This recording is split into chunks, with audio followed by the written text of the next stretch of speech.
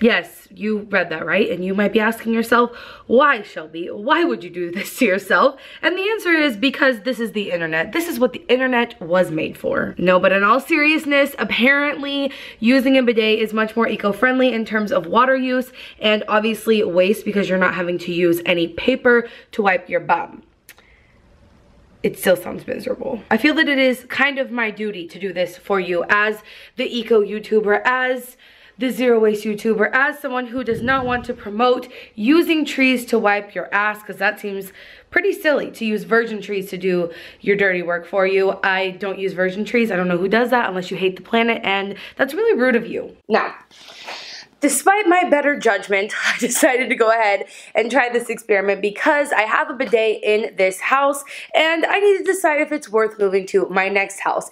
Is it something that I want to keep and I want to use and utilize or is it something that I think I could just leave here when I leave, you know what I mean? According to what I found online, an average bidet takes about one eighth of a gallon of water to wipe off or to spray off your business, whereas an average roll of toilet paper takes about 37 gallons of water to produce. Now, I don't feel like this is advocating a huge change, especially when you consider that a big part of the water that you would need to create toilet paper would go into growing a tree. And since I use recycled toilet paper and or bamboo toilet paper, I feel like it's not quite the same. And even if you're comparing the one eighth of a gallon that it takes to use a bidet and the 37 gallons it takes to produce a roll of toilet paper, you don't only use a roll of toilet paper the one time, you have to figure out how many uses are in an average roll of toilet paper and do the math there to see what the savings would actually be and if it really constitutes, you know, you know. Also, side note, apparently outside of the US, this is completely normal to use a bidet and they would not have a reaction like I'm having to it. It would be relatively normal, but for me, I have literally never used a bidet in my life. So uh, I had Madison install the one that we have. It's by a brand called Eco Bidet. I'll leave a link to it or another one below. And um, yeah, I had Madison install it. I'm very intimidated by having to use it, but let me show you what it looks like. Oh, also just don't mind that like I still have Christmas toilet paper because I have so much, so much toilet paper in my house. This whole box is actually still full. Yeah. Very appealing and luxurious, wouldn't you say? So it's literally just like a hose. And I'm supposed to spray this up my bum. Okay, so goodbye to my favorite toilet paper. I will see you next week because this week, this guy is gonna be my best friend. Okay, wish me luck.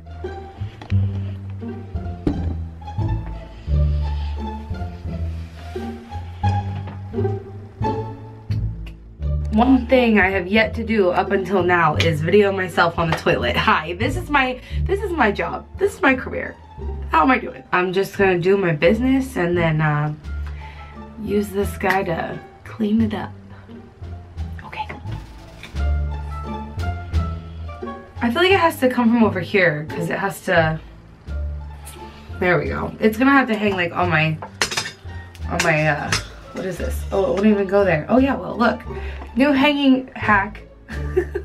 okay. So it has to be hung over here because if it's over there, then the line is not gonna be able to get up in there.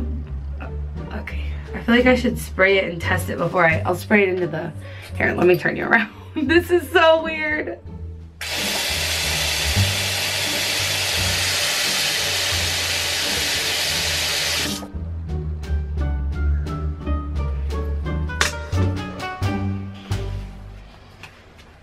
All I want to know after that is, does this qualify as the strangest first impressions on YouTube? Let me know. So I'm just gonna say it wasn't quite as bad as I had expected it to be. Uh, it was a little weird because I did definitely expect to be like dripping wet once I used it, but it wasn't that bad. Just kind of sit there and do the little shake. Um, I have heard people say that they use the bidet and then they use like what they call family cloth to kind of dry themselves off, which is like reusable toilet paper or just like a cloth, like a reusable cloth. I'm not sure if I'm about it with using reusable cloth to dry off. I think I'll just practice the drip dry method for now, but um, first impressions are I think this week won't be that bad. I think I can do this. But that was also, by the way, only with number one. I'm really worried and weirded out about using it with number two. So I, I don't know if I'm gonna take you in the bathroom for that test. Like it's just weird. So what that's, we'll see. I'll keep you updated.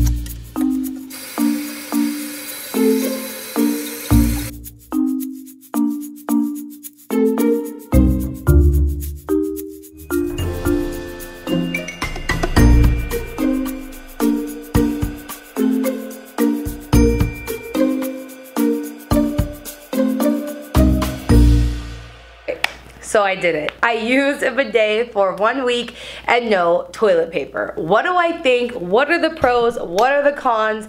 Will I continue using a bidet after this experiment? So honestly, using the bidet was not as intimidating as I assumed it would be. I definitely thought it was going to be really scary and I also really thought that I wasn't going to be able to tell when I was actually clean. It turns out I definitely like over thought it in my mind and thought it was going to be some crazy thing when in reality it's just not that serious. So let's talk about the pros and the cons. Pros to this is that it is supposedly less wasteful, right? Less water use, less resource use, no shipping associated with your toilet paper, no packaging, no paper to throw away. All of those are wonderful and it also will save you a ton of money, even if you're using the cheapest toilet paper on the market. Cons are it's just not as convenient or as easy to use as toilet paper and it's also going to take some form of adjustment period. So under that category of tricky to use, you kind of have to figure out a way to dry yourself off.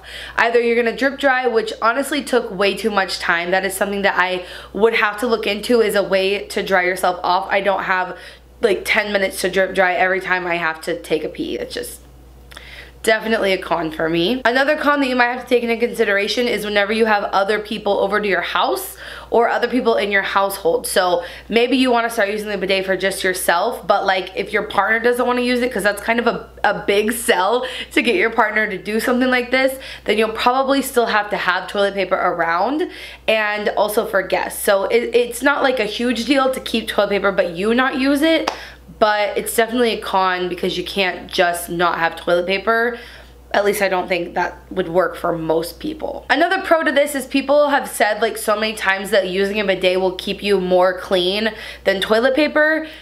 I feel like I didn't really experience that, but I guess that's a pro you could take into consideration. So yeah, I think I think those are the main pros and cons, like cleanliness, it taking way too much time to use a bidet, and then money being like a huge thing there. Whatever your priorities are in life is probably how you would choose between the two.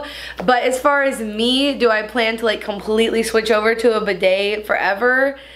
No, probably not. Look, I definitely think if I was using virgin toilet paper that was like really expensive and wasteful and that sort of thing that I might switch. But the toilet paper I use is by a company called Who Gives a Crap. I have a $10 off discount code. This is not sponsored, but I'll link it below if you guys are curious. It comes wrapped in paper, so there's no plastic, um, and all the materials are recycled, meaning that no trees were like grown and then cut down and then turned into toilet paper from my booty. it comes from paper that otherwise would have been thrown away. It's recycled paper. So it's taking away the water that's associated with growing that tree. Of course, there's still water uh, taken into consideration with the like manufacturing process, but there are just some things about like zero waste that like I don't think I can do. I do not think that yours truly will become an avid bidet user.